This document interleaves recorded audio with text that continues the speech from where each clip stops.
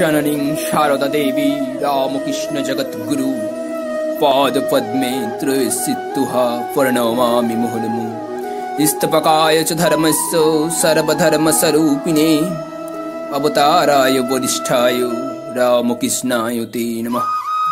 धर्मं शरणं गच्छामि कर्मं शरणं गच्छामि श्रीरामकृष्णं शरणं गच्छामि।